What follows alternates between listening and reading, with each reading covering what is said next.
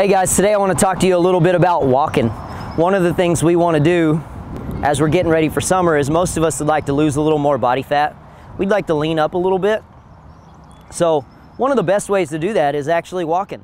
Sometimes those of us who are really driven, we think that everything needs to be extremely difficult and brutal in order to get the results that we want and for some people, that may be the case. If you're a high level athlete, you've got to push farther than what you normally push in order to get your body to burn more so you can get leaner.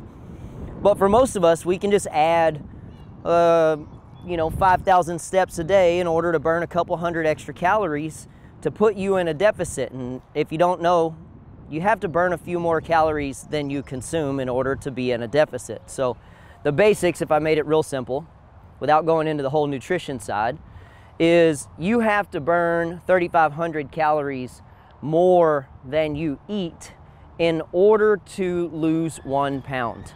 So if you did simple math in a week, if you wanted to lose a pound, you've got to burn 500 calories more than you consume every day for seven days to lose one pound of body fat. That's a lot, 500 calories. That's actually pretty extreme to do that per day.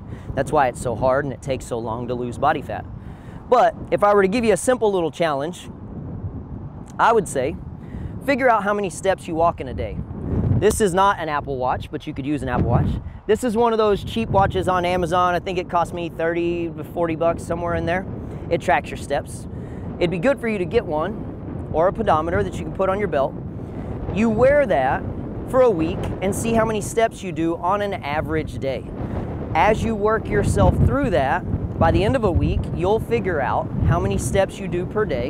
And then in the next week, try and add 5,000 steps per day.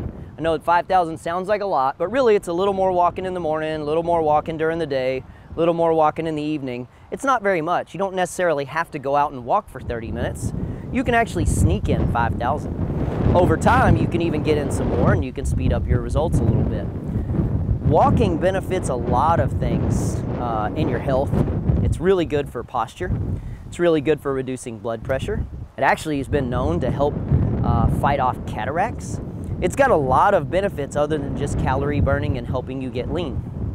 Burning body fat requires a slightly elevated heart rate, but it shouldn't be so difficult that you can't carry on a conversation. It should be slightly elevated, but you can still talk.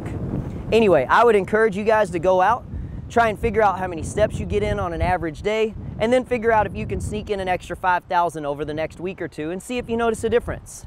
Anyway, it's that summertime, so it is time for you to start thinking about if you want to look better, how you get there.